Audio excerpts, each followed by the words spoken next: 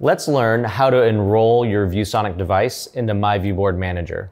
First, you're going to need to locate the Manager app on your device. If you use a touch device, simply touch to navigate to it.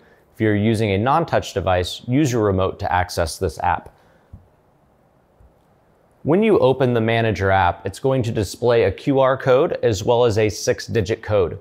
The QR code is so we can enroll the device using the My ViewBoard Companion app. You need to be signed in to the My ViewBoard Companion app with your admin account in order to activate and enroll it with the app. We can also use this PIN code by going to the myviewboard.com website, signing in, and then going to the device list. Let's learn how to do it through the website. So we're going to use the plus sign or the add device icon. And then you're going to see that there's an option to type in the PIN. We can give the device a name, put it in a group if we want to, and then add the device. You also have the option of bulk importing all your devices, and you can bulk import by PIN code, or we can do it by serial number. Now, at the bottom, there's going to be a question mark. If you click on this, this is going to give you the template file to download enter all your information, and then come back to myviewboard.com and choose the import device list.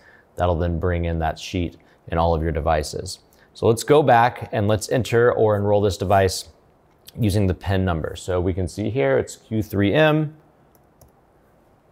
J7E. We'll call this training room, and we're not gonna put it in a group today. We're gonna select OK. You'll now see that my device is in my list, and then this will show that it's successfully been paired. The nice thing about the Manager app is that if you're ever at a uh, board or a panel or anything and you're not sure what it's called, you can open the Manager app and it will tell you what the device name is. So again, log into myviewboard.com, type in the PIN code, or you can use one of our bulk import options to get all of your products enrolled.